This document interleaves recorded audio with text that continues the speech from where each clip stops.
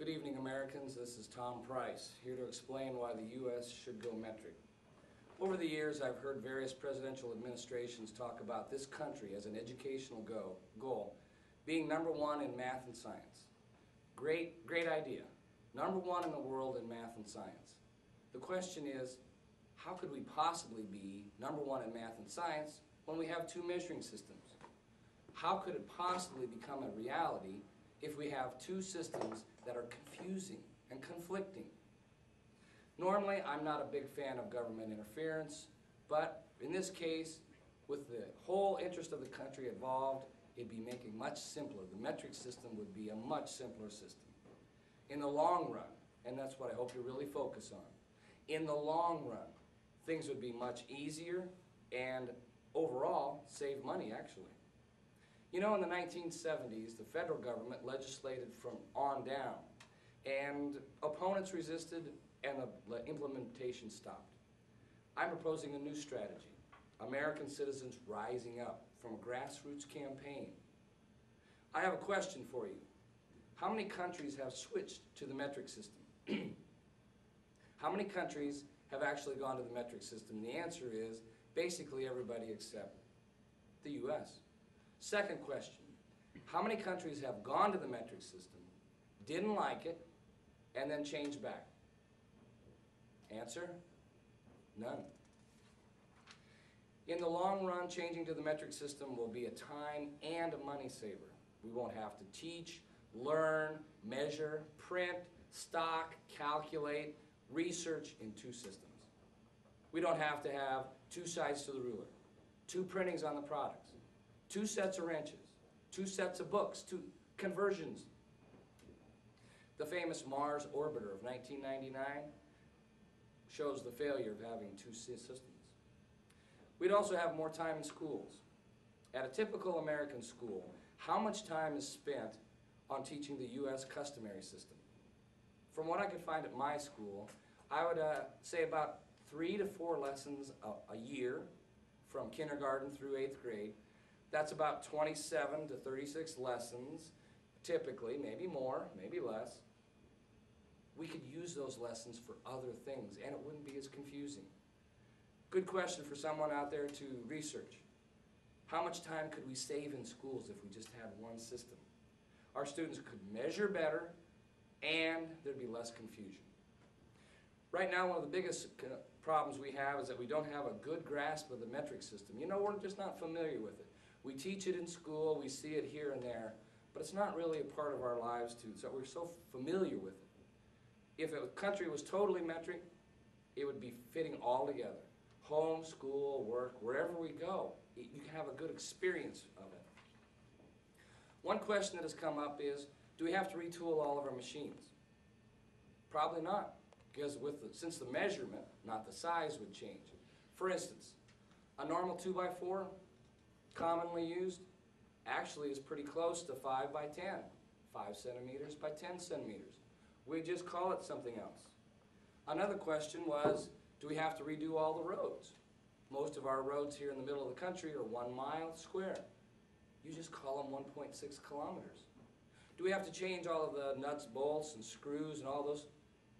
You just measure it and call it by its metric measure. I don't think a whole lot would have to be changed except in the fields that use all these measurements for design, planning, all the construction, all the things that are familiar to a lot of people. All those things are already programmed into computers with heights and distances and weights and all that. It would take a lot of work. I know that. It wouldn't be easy. There would be obstacles to overcome in the transition.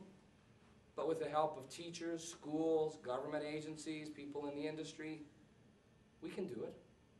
There's enough professional help already out there in place all across the country where we could establish the metric system without a whole lot of problems. Schools could obviously maybe be a, a learning point for all the communities that we could proceed. Anyone who has studied the measurement issue knows.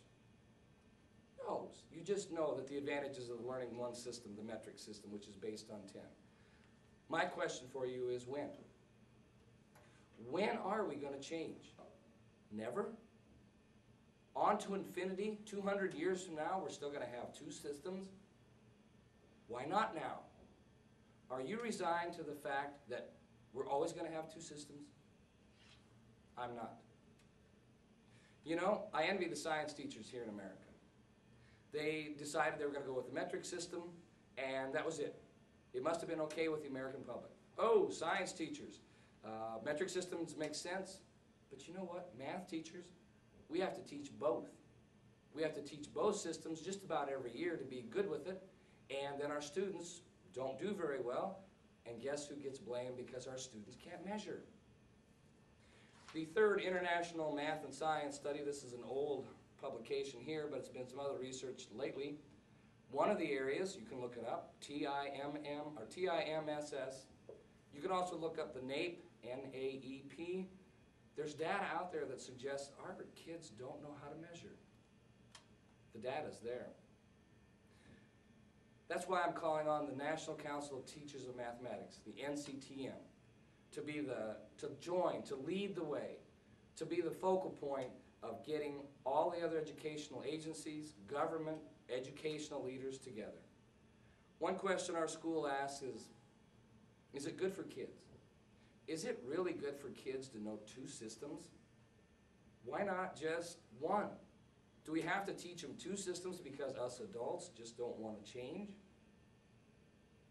Some people have pointed out to me that having two measuring systems is like learning two languages.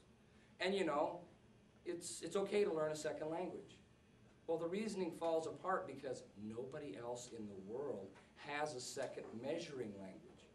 Yeah, math is kind of like a second language, but you know, it's okay to learn two languages like Chinese, Spanish, German, etc. But no one has a second measuring language except us. We already have two systems. Now, you know what? You might not personally be involved, but the metric system is going on. We already are engaged. We're already engaged. The question is, will we go solely? I've never run across an American yet who went into a store, looked at a bottle like this, and said, I'm not going to buy this bottle because it's metric. What do people say? You know, mm, 89 cents for a two liter bottle. I think I'll take it. Once we get used to it, it wouldn't be that big a deal. Let's look to the future. Suppose we make a total switch right now. In five years, what would it look like? A trip to the store would be the same, have the same units as where you work, as where you go to school, those kinds of things. Everything would fit. There would be no confusion.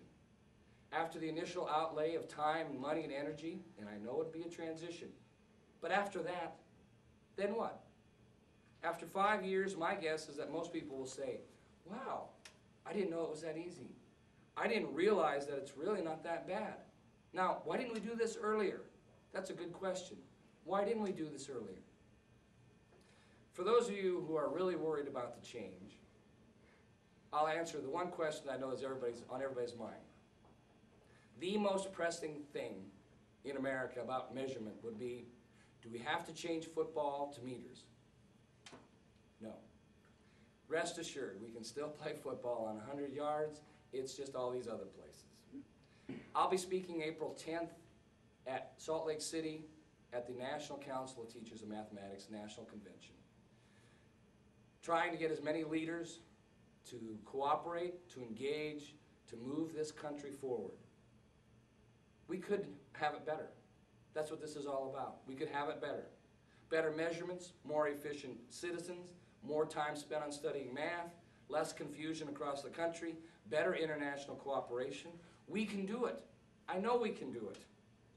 Let's take care of it now and be on our way. Grassroots Metric Campaign. See you on the web.